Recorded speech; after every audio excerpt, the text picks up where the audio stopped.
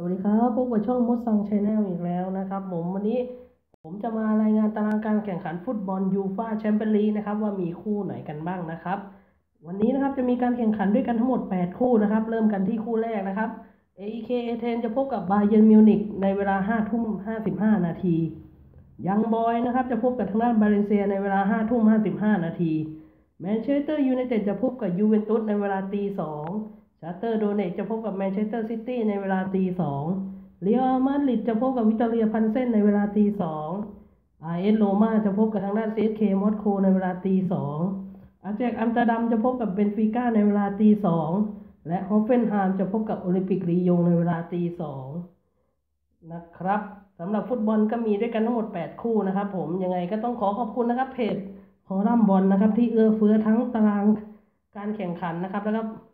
สกอร์นะครับผมให้กับทางเพจของช่องมดซัง channel ได้ติดตามกันนะครับ ยังไงถ้าชอบคลิปนี้ก็อย่าลืมกดไลค์กดแชร์นะครับ กด subscribe และกดกระดิ่งนะครับ เพื่อท่านจะได้ไม่พลาดคลิปใหม่ๆของช่องเรานะครับผม ยังไงก็ฝากติดตามกันด้วยนะครับผมสำหรับวันนี้ผมต้องขอตัวลาไปก่อนนะครับ แล้วพบกันใหม่ในคลิปหน้านะครับ ก็คือวันพรุ่งนี้นะครับกับการรายงานผลการแข่งขันฟุตบอลยูฟ่าแชมเปี้ยนลีกนะครับสำหรับวันนี้ ต้องขอตัวลาไปก่อนพบกันใหม่ในคลิปหน้าสำหรับวันนี้สวัสดีครับ